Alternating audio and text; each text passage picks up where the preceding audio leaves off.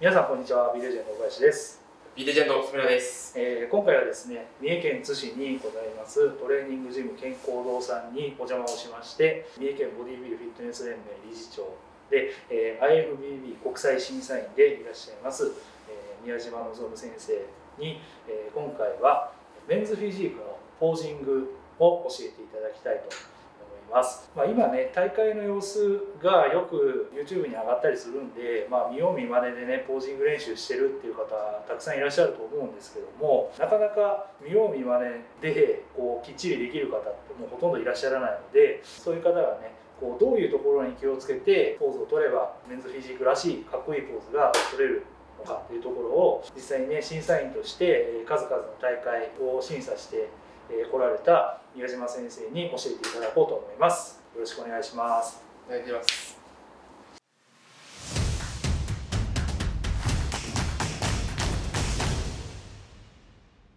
じゃあもうあのフロントかはい、こらのところ。はい。見ていきます。はい。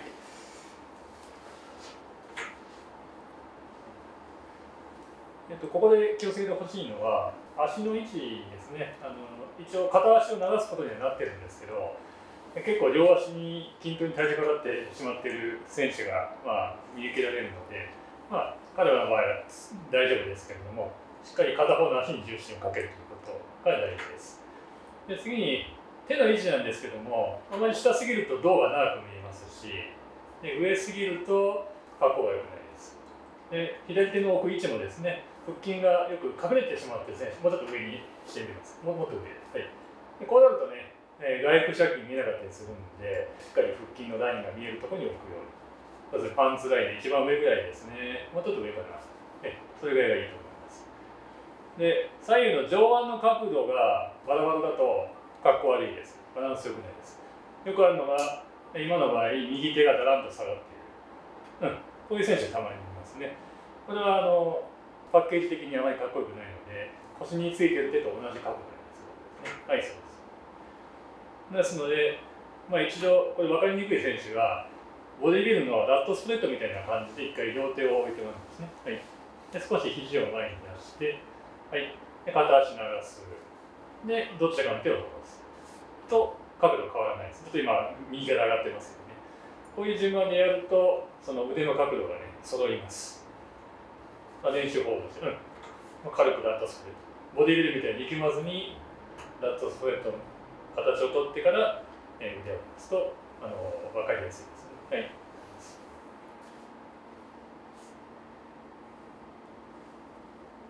ポーズを取るときはいに手がゼッケンにかかっちゃってる選手ってはいよくないですか、そうですね。ですから、ゼッケン見えないと意味がないので、なるほど、はいはい。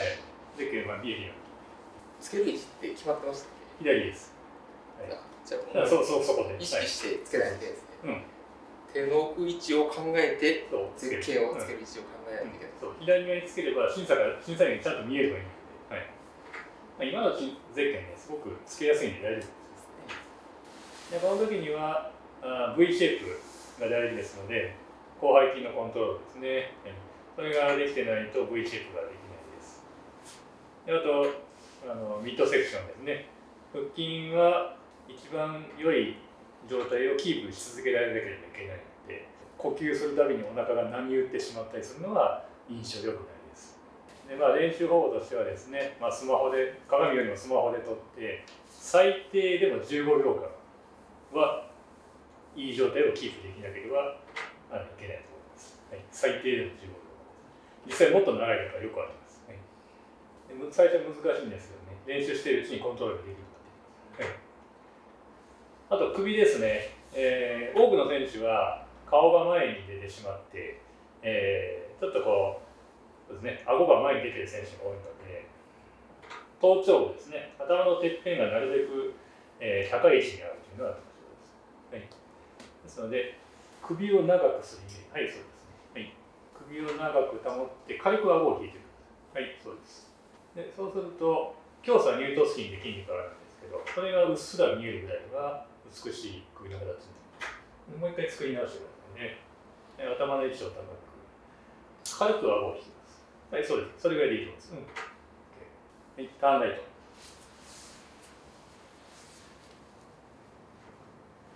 でプレイアクションを最小にしてすぐに取ることが大事ですでこれもサイドポーズですけども V シェイプが見えるような感じ横から見て V の字ですね体の位置はサイドなんですけども上半身のひねり具合というのはすごく大事です。で審査員に向かって、えー、顔を向ける。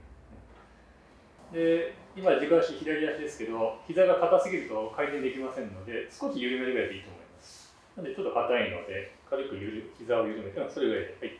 そうするとひねりやすいですよね。サイドポーズの時には外腹斜筋を目指すのでこの向きだと左,、えー、左の外腹斜筋ですね。そこをあのマッスルコントロールですねしっかり出せるといいと思います。あとは左の肘を若干引きましょう。そうですね。肘だけ引くかうんそうですね。そうするとサイドから見ても V シェイプというのが、えー、強調できます。一旦ライト。で上から見ますのでまずね頭の位置ですね。できるだけ首を長くして顎を軽く引く。これはフロントもバックも一緒です。で、えー、左右の上腕の角度は同じの方がいいですので、まあ、これもねできない人は、えー、ボディービルのラットスプレッドみたいなポーズを軽く取って力み力ますんですね。はいで片手を伸ばします。そうです。あ今肩上がりすぎですよ。そのまま肘だけ伸ばすからはい。そうです。で背中の広がりを見せるために肘を前に出しすぎる選手がいますのでそこは気をつけてください。えー、あまりにも肘を前に出すと背中が丸まりますので本に広げてるつもりでも背中の広がりが消える場合がよくあります、ね、今ちょうどいいですね。で意外に大事なのは見えないんですけどお尻の筋肉を締めることで脊柱起立筋ですね。あのしっかりと充実しますので、えー、お尻を筋肉っていうのはしっかり締めましょう。そうすることで立ち姿がきれいになり。ますはいターンライト。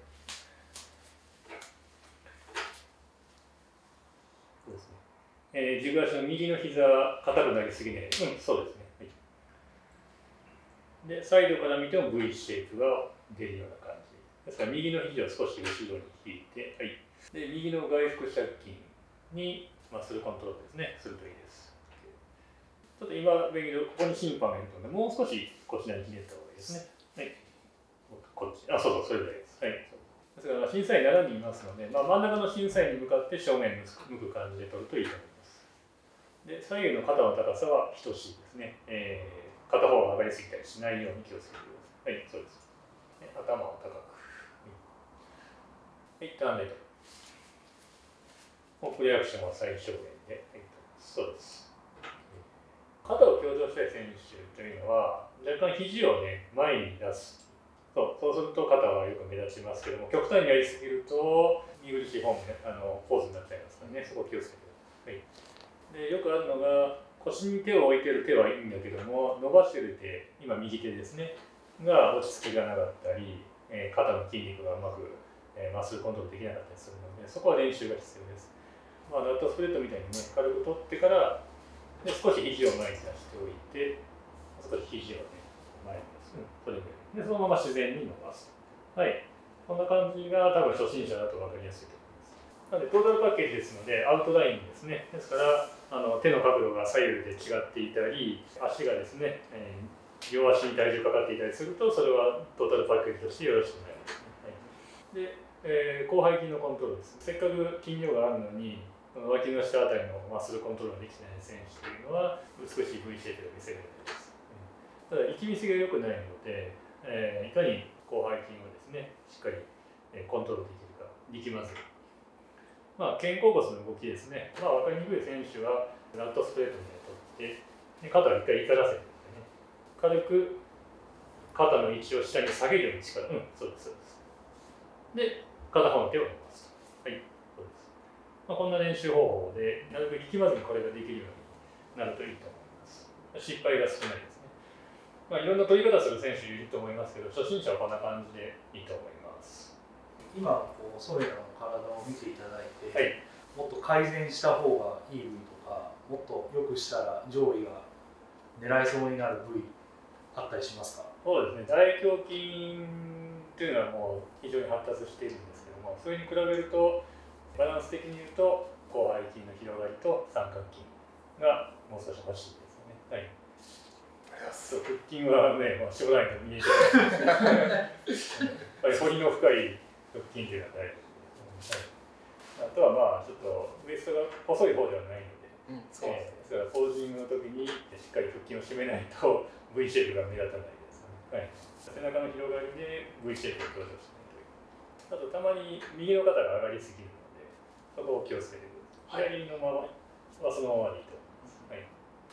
筋の力の入れ方のポイントとかってあったりしますかね？そうですね。あの初心者は一回へこませて上下に潰すように力を入れる。はい。そういう指導をご用意しています。はい。ただ腹筋運動をするようなやり方にすると背中丸まるので、はい上下に潰すというイメージですね。はい。うんで、それをやはり15秒間はキープし続ける。はい、で、なかなか慣れないとお腹が呼吸のたびにあのポコポコ動くんですけど、そこはね、えー浅く呼吸してお腹が動かない。それも訓練でできますはい。そういう練習をしてほしいサイドポーズの時の腹筋もそんな感じですかね、イメージとしてはそうですね、ただ外部借金強調したいので、はいえー、肋骨と骨盤の間をフレックスでね、近づけるようなイメージが大事ですね。はい、そうです。左の肋骨とはい骨盤の間を縮めるような力の、うん、入れ方ですね。はい。そうですそうすると出てくる、あの、意識しやすいと思います。この時の肩ははい。このそう、横から見た時は V シェイプになっているこっちの肩とかはどうえっ、ー、とね、肘を少し前に出すだけでいいです。はい、それで十分。力は入れなくて入れなくても大丈夫ですね。はい、少し肘前に出す。あと、腹筋分からなかったら、はいその場合は下半身は右にひねろうとして、上半身を左にひねろうとすると、外部借金が力が入ります。ええだからこのやり方で分かんない人もいるんで、うんそこは骨盤と肋骨の間を縮めるやり方なのか、腰を逆方向に、互い違いにひねる方向、どっちがいいのかまあ試してもらって、よりはっきりコントロールできる方を選んでもらえばいいとここですね。思います。はい。この辺やっぱり結構見てはるんですいよやー、サイドボードそこ目立ちますよ。腹斜うん、腹斜筋がね、しっかり見えてるとポイント高いです。はい、あと、バックポーズの時に、あんまり背中を広げようとして、背中を丸めないと、審査員は足元の割と低い位置にいるんで、はいボディービルのダットスプレッドみたいに背中を丸めてしまうと、かえって背中が小さく見えるので、お尻を締めて出す。はい。そうです。あんまり背中は倒さない方そうが前に、えー、とそうですね、ステージ側に倒しちゃうと、かえってよく見えないです。そう、まっすぐで。で、お尻締めれば、背中まっすぐになりますので、カーフとかって力はあんま見ら見られてないですかあのーやっぱり力んだらいけないので、普通にしてれば、パウフが出ます。こういう感じで。でそれで十分です。十分。十分で。す。はい。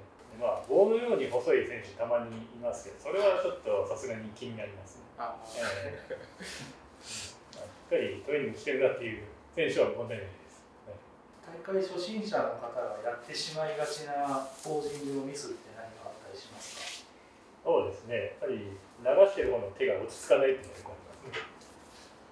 そうそう、そういう感じです。はい。とか、やっぱりお腹が波打つんですね、呼吸で。まあ、緊張もあるんでしょうけど、せっかく絞れてるのに、もうお腹の腹筋のコントロールができてない選手っていうのがいますね。はい。もったいないなと。はいしっかり潰してそう、そうですね、それをキープ。あと、その肩を出そうとしすぎるあまり、肩が上がりすぎて。なんで首を長くした方がいいです。この首を長くするっていう説明がすごくスンとそうですね、やっぱりあのトータルパッケージを見たときに、頭から僧帽筋、肩に流れるラインっていうのはすごく重要です。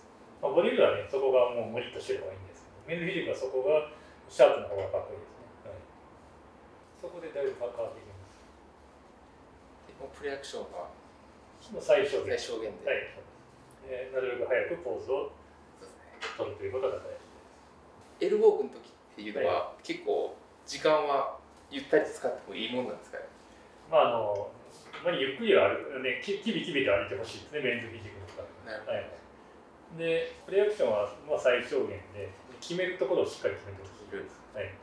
最後にフロントとバックを取るんですけども、で、フロントをしっかり取って、後にバックに行ってほしいですね。だから中途半端であの流しちゃう選手がいるはい。しっかりとポーズを決めてほしいです、ね、プレアクションが長い選手いますけどはい。決めのポーズの方が長くしてます。そうですね。重はい。点ポイントはそこですもんね。そうですね。そこを規定ポーズですね。ね歩き方っていうのはねやっぱりキリキリとスポーティーな歩き方をしてほしいですね、はい。全日本とか行ったら結構ゆったり使われますもんねこう、まあ顔をこっち向けて笑顔をしながら。こはい。自信持った感じで、そう。ただ動き止まってないんであの上位の選手ってははい。一連の動きの中でそれほど違和感を感じないその辺をうまくそうです。キビキビとやるそうそう動作の中で、はい、止まってない。ありがとうございます。はい、今回は、えー宮島先生からですね、えーメンズフィジークのポージング指導ということで、えー気をつけるべきポイントについて、えーご説明いただきました。メンズフィジークの大会今年出てみたいという方、まあ、何回か出場経験があって、えー今年も出たいなとさらに上を目指したいなと思ってらっしゃる方も、えーぜひ参考にしていただいて、えーポージングの練習頑張ってくださいまた宮島先生に教えていただきたいことがございましたらコメントよろしくお願いしますそれではまた次の動画でお会いしましょう。さよなら。